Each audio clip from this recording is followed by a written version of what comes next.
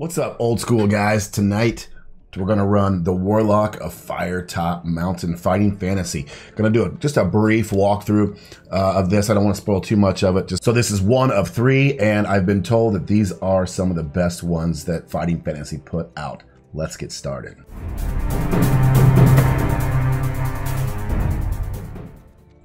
For those of you who don't know, Fighting Fantasy put out a series of uh, choose your own adventure style books in the early 80s uh, that are a little bit, they're quite a bit more uh, robust than a choose your own adventure style where you're actually rolling for some stats and, and then you're trying to finish the uh, the uh, book, but uh, it's a lot more interactive where you're, you're doing rolling, you're making more decisions than just what page you want to turn to. Um, I just stumbled upon these just a little bit ago, uh, and I've been trying to talk about them some more. And so this is my second of two uh, walkthrough videos in the series. I did Deathtrap Dungeon a couple videos ago. Go back and check that out, or I'll put the link right up there. This is the first of a trilogy. It's supposed to be awesome, so let's get started. Let's start with the rules. All right, you first start by rolling stats for each one of your skill, stamina, and luck. Your three things. You roll one die, add six to this number, and enter the total in the skill box. Same thing with stamina, same thing with luck. Actually, 6, 12, 6. Let's do that right now. I'll put this link uh, for this form fillable fighting fantasy roller. It's awesome. All right, he's got a random function, which I can just make a random name. I like Gorak, though. That's, oh, I like to, stop pushing the button, Burvo, no. Geralt. Geralt sounds cool, but I'm going to roll for these. Right down here, we've got a one dice, so let's do roll. Plus six is 11. 2 plus 12, is that right? We got to add 12. 14. Ugh. Man. 7. Now you'll notice this rules tell you to keep your initials uh, written down so that even these will go up and down during the game, but you don't want to you don't want to mess with your initial skills. Uh, supposedly, somewhere in the books, you might have a chance to have your initial skills go up if you uh, are so blessed, or even down if you're so cursed. But uh, you're not supposed to mess with those normally. And he's even got maps. This is a nice tool. I highlighted this in my last video, but I really appreciate this. Good job, F. Good job, dude. Whoever you are. So your skill is your fighting, your stamina is kind of like your constitution, so it's your hit points, and then your luck score uh, indicates how lucky you are, and you can use that on certain things. However, remember that if you use your luck and you fail, bad things can actually happen. If you use your luck and you and you succeed, good things can happen, but you also use up luck, I believe. So when you do do combat, you roll two dice and add the creature's skill score. You, when you roll two dice and add your skill score. Uh, then you compare if yours is higher. Uh, you've wounded it. If the creature's is higher, he's wounded you. If you wound the creature, you subtract two, so it's two points. So at this point, you can use luck to do more damage if you want. Same thing if the creature attack hits you uh, or wins, then they subtract two from your stamina. Again, you can use luck at this stage, but you could actually hurt yourself by using luck as well. So you can you continue this process until someone's stamina is zero. You can only run away if it tells you you can run away. If you do, you lose some stamina for running away. Sometimes you'll fight more than one monster, it'll tell you what to do. So you're trying to roll equal to or below, not over, uh, when you're using your luck. If you get below, you're lucky. If you get above, you're unlucky. Each time you test your luck, yeah, you have to subtract one point from your current luck score. Thus, you'll soon realize that if you rely on your luck all the time, it becomes even harder because your luck goes down. So if you've just hit a creature, you can test your luck as described above. Uh, and you may subtract an extra two points if you succeed. However, if you're unlucky, you actually give him back one, and instead of doing two points that you would normally do, you only do one point of damage. If the creature has wounded you, you can do the same thing. You can restore one point back to yourself. If you're unlucky, you subtract an extra point of damage. So you have 10 provisions that you can eat that will help you get back stamina score, but you can only eat that uh, when you're allowed on the instruction on the page. I don't know if you saw my last video where I showed you the interactive Deathtrap dungeon game, but uh, yeah, they were like letting you eat in the middle of combat, which I hate that. I mean, who pulls out a loaf of bread and eats it? It's like, hey, Orc, hold on. I gotta, hold on. You get your pack off, you, you put your sword down. I just need to really quick put this cheese in my mouth. Um, this makes more sense. You know, if you're if you're someplace safe, then you can eat. If not, you can't eat, and you get four points back. So you can do that 10 times in this adventure. Uh, Potion of Strength. Restore your stamina to its initial value. Sometimes you can you'll get rewarded luck and may even exceed your initial value. That's what I was talking about earlier. All right, so you're armed with a sword and dressed in leather armor. You have a haversack backpack on your back to hold your provisions and any treasure you may come across. You also carry a lantern. Let's write that down.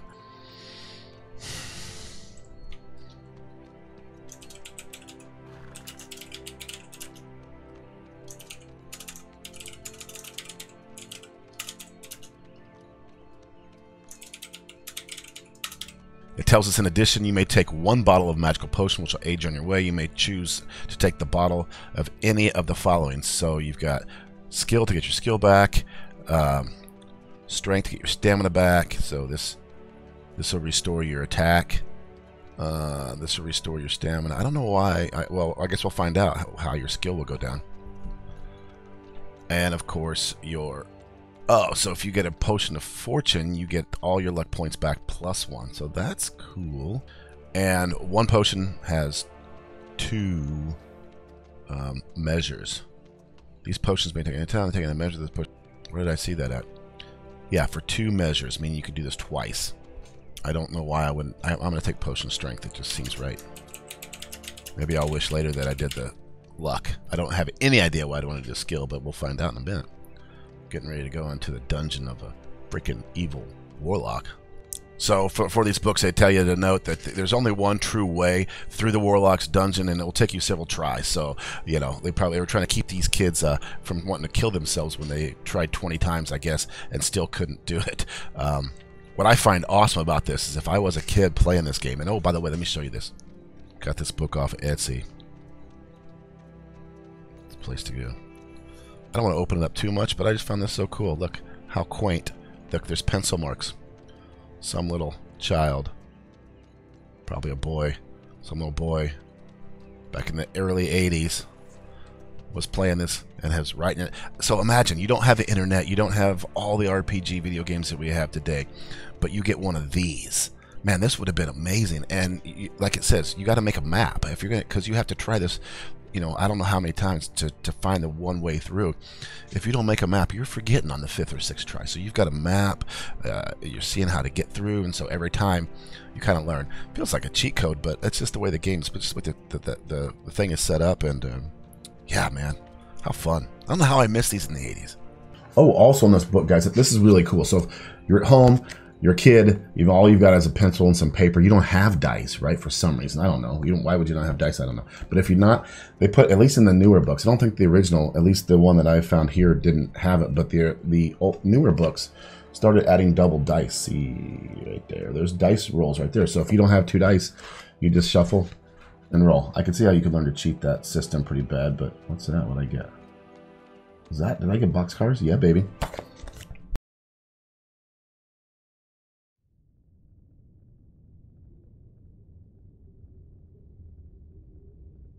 Only a foolhardy adventurer would embark upon such a perilous quest without first finding out as much as possible about the mountain and its treasures. Before your arrival at the foot of the Firetop Mountain, you spent several days with the townsfolk of a local village, some two days' journey from the base. Being a likable sort of person, you found it easy to get on with the local peasants. Although they told many stories about the mysterious warlock sanctuary, you could not feel sure that all, or indeed any, of these were based on fact. The villagers had seen many adventurers pass through on their way to the mountain, but very few ever returned. The journey ahead was extremely dangerous. That you knew for certain. Of those who returned to the village, none contemplated going back to Firetop Mountain. There seemed to be some truth in the rumor that the warlock's treasure was stored in a magnificent chest with two locks, and the keys to these locks were guarded by various creatures within the dungeons. The warlock himself was a sorcerer of great power. Some described him as old others as young. Some said his power came from an enchanted deck of cards. Others said the silky black gloves that he wore. The entrance to the mountain was guarded by a pack of warty-faced goblins, stupid creatures, fond of their food and drink. Towards the inner chamber, the creatures became more fearsome. To reach the inner chambers, you would have to cross a river. The ferry service was regular, but the ferryman enjoyed a good barter, so you should save a gold piece for the trip. The locals also encouraged you to take a good map for your wanderings, for without a map, you would end up hopelessly lost within the mountain.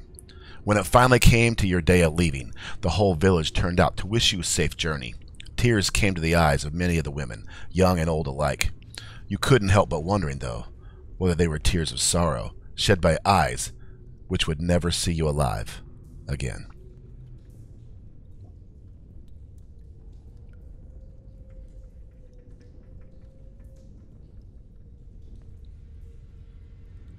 At last, your two day hike is over. You unsheathe your sword, lay it on the ground, and sigh with relief as you lower yourself down onto the mossy rocks to sit for a moment's rest.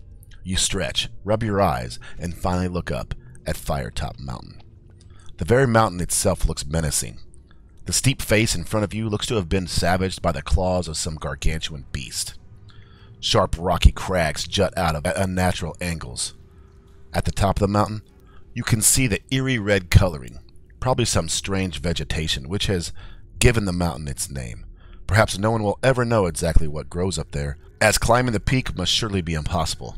Your quest lies ahead of you. Across the clearing is a dark cave entrance. You pick up your sword, get to your feet, and consider what dangers may lie ahead of you.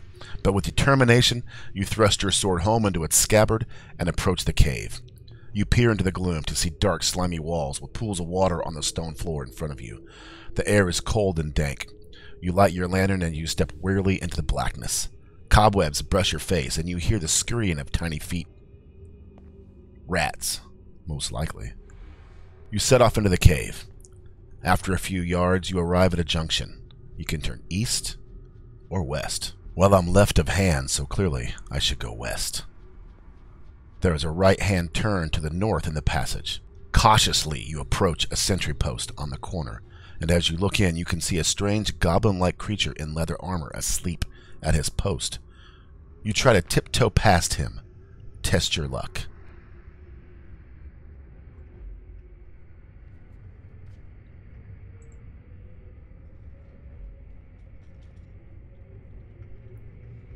Ah, he's not going to wake up. Snoring nice and loudly.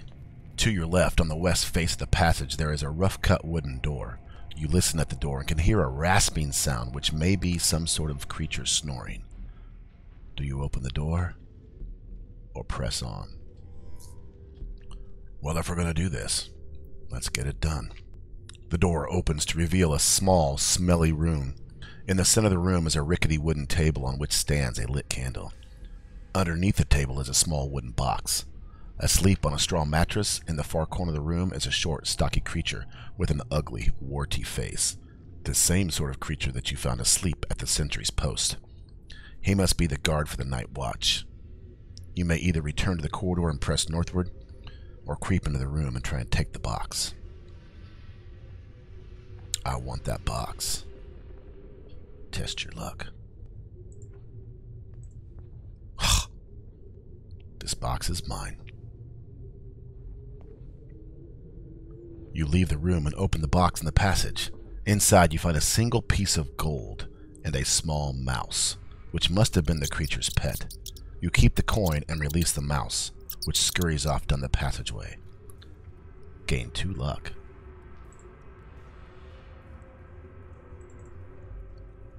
Further up the passage along the west wall, you see another door. You listen at the door but hear nothing. Let's open this door.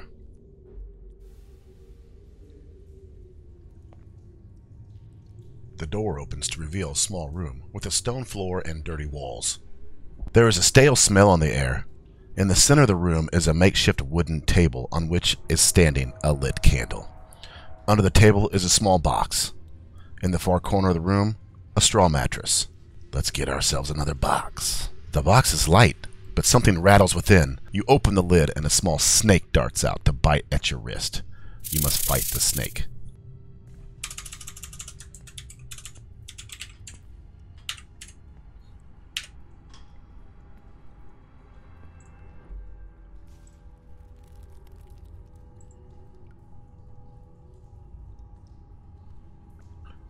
Seven plus eleven equals eighteen. Six plus five equals eleven. So I get two. I don't need to use luck.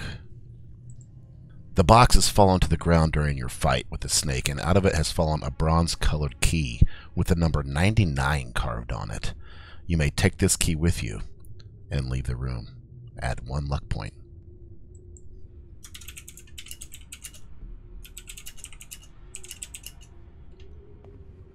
I have seven. I cannot go up one. Further up the passage on the west wall, you see another similar door. You listen at the door and grimace to hear the worst singing you have ever heard in your life. Well, let's see what this is.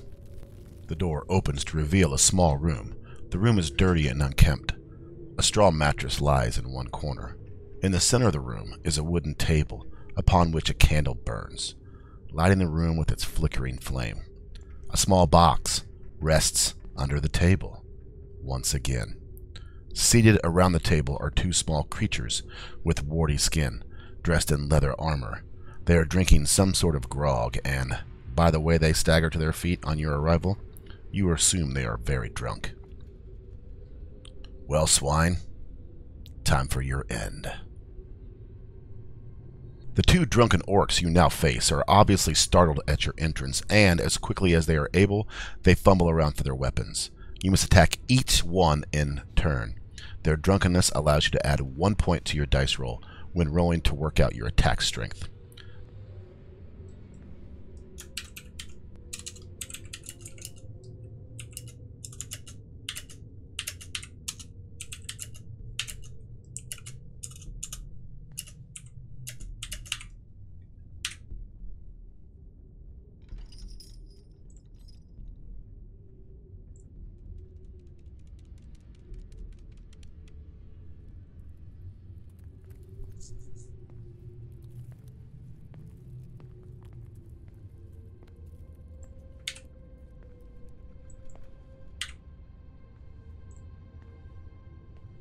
Use luck. Haha.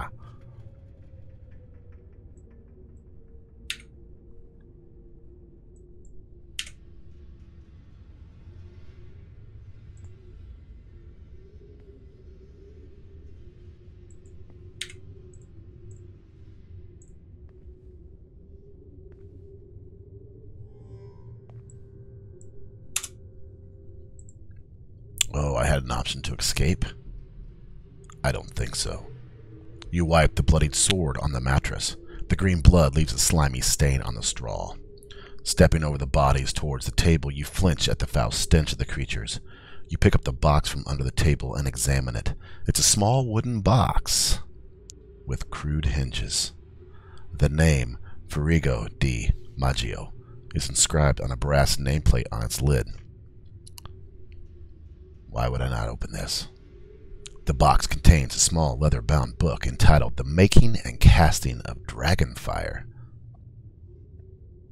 You open the pages and begin to read. Fortunately, it is written in your own language, and so was probably not understood by the orcs. Otherwise, this treasure would certainly not be as loosely guarded as it was. The book is written in tiny handwriting by Farrigo di Maggio. In it, he tells the story of his life's work, the creation of the Dragonfire spell with which to fight evil dragons. You read how, in his last years, Farrigo finally perfected his spell, but by then was too old to make use of it. So he completed his book, locked it in a chest, and hid it in the depths of Firetop Mountain.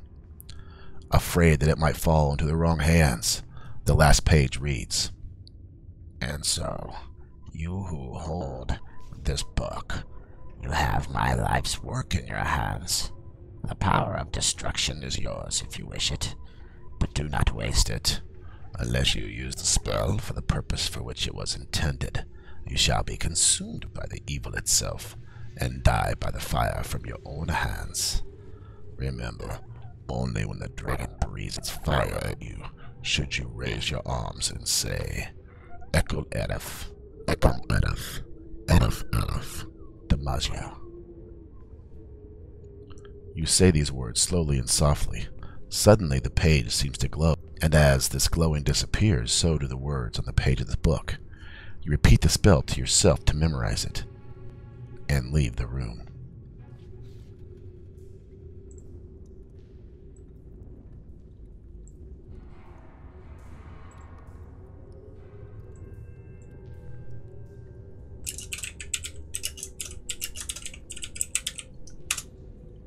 So, guys, that's all I have time for today. But if you'd like for me to continue, let me know in the comments. Maybe I'll make part two, part three, and try to continue along the book. I hate to just stop so early in the book, but um, at the same point, I don't want to spoil things if you want to get the book, and I just kind of wanted to give you a flavor of the book. I have a feeling this is going to be a really, really fun adventure. Um, so maybe I just hold off and see if you guys want me to make a part two and uh, keep going on it. Thanks a lot, guys, for hanging out with me for the Warlock of Firetop Mountain. Uh, want to see more of these? Let me know. I appreciate it. And uh, yeah, we'll be seeing you later. And like they always say in the cartoons, there ain't no school like that old school.